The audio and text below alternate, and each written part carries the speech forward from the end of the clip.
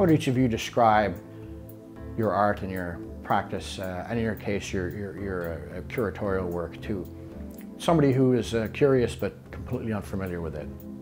I would say my work has always been performative in some way. I've done videos, I've done live performances, uh, I've even done objects that, you know, uh, take my body as um, part and parcel of the whole project. I like to do performances that kind of uh, bridge the gap between viewer and artist. I really like to have a connection with the public in a way that other disciplines don't match up. You know, performance has a really direct way of communicating uh, emotions and ideas and concepts. So I, would say uh, it's very performance, even though I make photo and video, it's always based in performance somehow.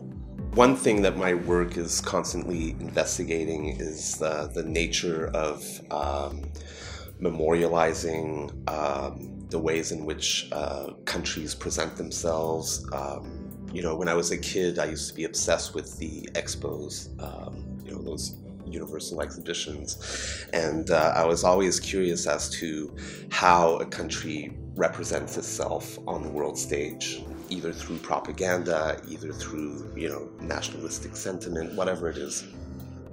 And uh, so my earliest works, I guess, it sort of investigated the meaning of uh, monuments. And so I did a series, um, which is, you know, now in the vaults of the Ottawa Art Gallery, where I sort of integrated myself within uh, monuments in different cities around the world. As I traveled, I pursued this project and um, and it's still ongoing, I suppose. But um, I wanted to see, um, you know, how how peoples or nations are represented in various monuments. We were politically involved from a very young age, and we're not afraid to step out, even as curators, to present exhibitions that have political content, and we're not afraid of uh, any controversy that can come from those types of uh, projects because we we really firmly believe in freedom of expression, and there's lots of artists that are marginalized in the art world even now. So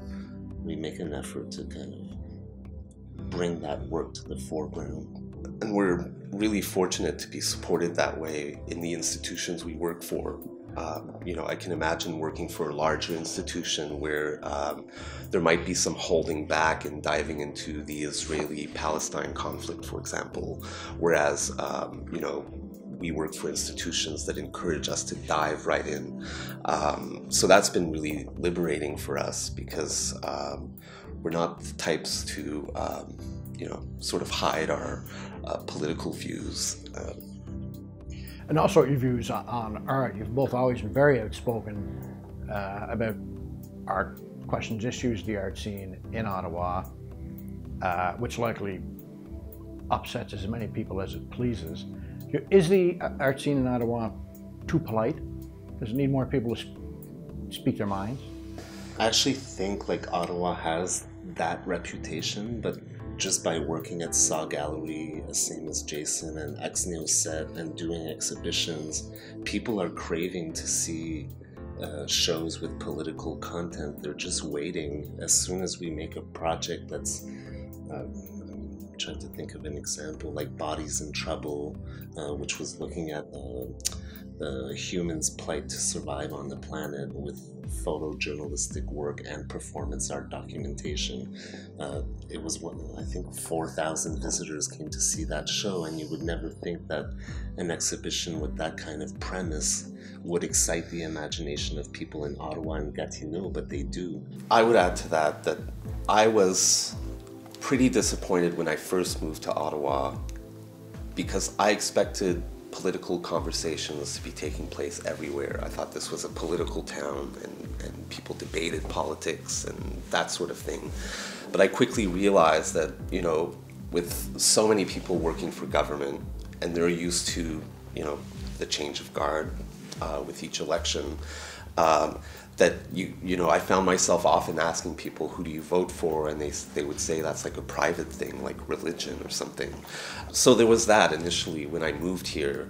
But then you know as Stefan mentions I think there people are all secretly uh, uh, wanting to uh, debate things in a deeper way, and I think we do that through art, but you know, some organizations are doing it through cinema or whatever it is, and um, and so I, you know, I think we just have to keep pushing um, these sort of critical debates around art and culture.